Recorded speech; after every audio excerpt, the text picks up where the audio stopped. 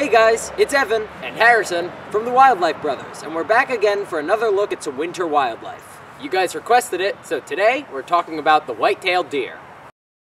The white-tailed deer is a large ungulate species and is in fact the largest mammal native to eastern Pennsylvania. Their range is quite expansive, covering most of the United States and also extending down into Central and South America. This species can grow to be over 250 pounds or more, and can live to be 6 to 14 years old. So right behind me is the kind of habitat that white-tailed deer prefer. They really like deciduous woodland areas with a lot of low-hanging vegetation, which they browse on and can also provide cover for them. Now, unfortunately, these guys don't always have it this ideal.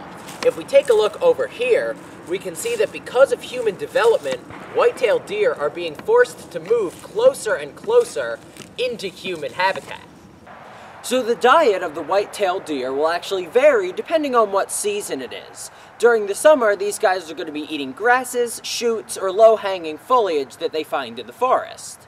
However, during the winter, food gets quite scarce, so they'll be eating seeds, acorns, or they'll be doing what you can see here. They're actually going to be peeling away the outer layers of tree bark to get into the inner cambium layer underneath. So, deer are large herbivores, and they need to be able to cut through the forest quickly, moving from one feeding location to the other. Now this forest, as you can see, is made of a lot of this thorny scrub-like material, and the deer don't like to have to cut through that every single time they're trying to move. So what they actually do is they establish these feeding trails. So deer trails, like this one right behind me, are basically just areas that the whitetails will reuse over and over again, moving from one location to the other. Throughout their range, the white-tailed deer has a number of predators, so they've adapted to be crepuscular, which means they're mostly active during the dawn or dusk hours of the day.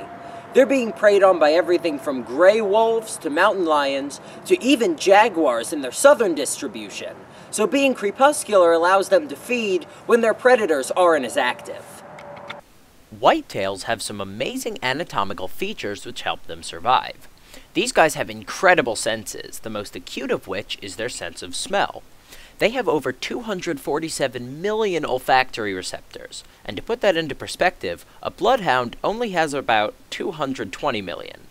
This allows them to detect predators very effectively, and paired with their excellent vision and hearing, makes catching them a difficult task.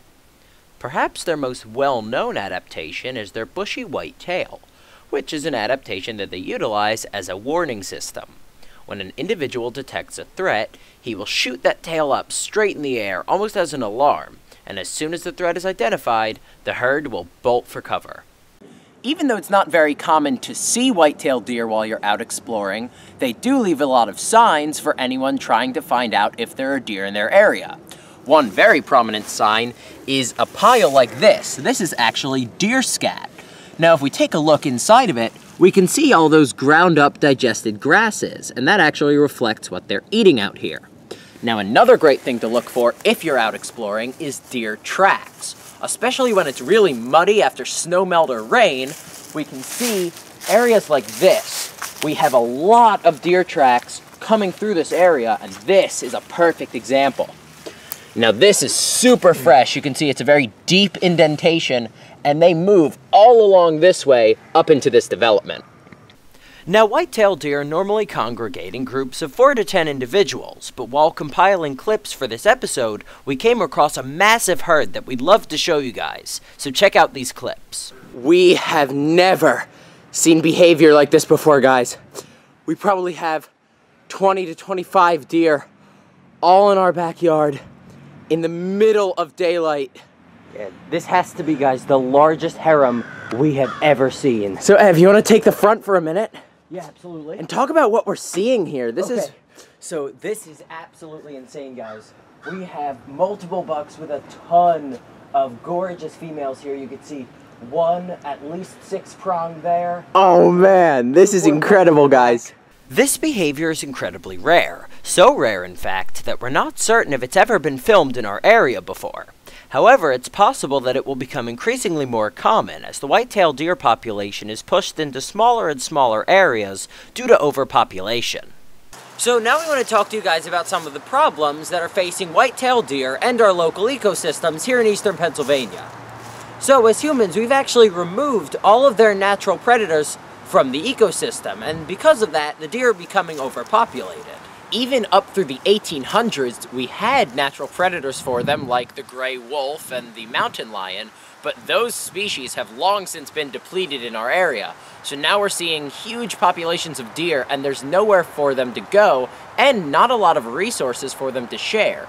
Deer are natural browsers, so they'll be eating a lot of the shrubbery, the grasses, but also the saplings of trees that are trying to grow in the forest. That's right, and as the large trees in the forest die off, there are no smaller trees to take their place, and thus our forests are starting to disappear, which of course is a problem because a lot of the species we have here live and breed in the forests. That's right. And one of the things we have to understand as humans is, even though there are a lot of deer, they didn't do this to themselves, they didn't want this. We took away their predators, and it is now our responsibility once again to take care of these animals, but in a different way. So right over behind us in this shot, we actually have a large road. And that is where a lot of the conflict between deer and humans takes place we always see deer on the side of the road that have actually been hit by cars, and it's a very common occurrence here. So what we ask is that you guys are very careful when you're driving. If you see deer, make sure you slow down, and you never want to try and hit them. Of course, it's never on purpose, but just be extra careful. We want to make sure that all of our animals here are protected and safe. Thank you guys for the awesome suggestion to take a look at the white-tailed deer. We really enjoyed making this video. If you guys have any more suggestions for which wildlife you'd like us to cover in a future episode, leave it down in a comment below. And if you did enjoy, don't forget to leave a like and subscribe for new animal content coming very soon. Bye guys!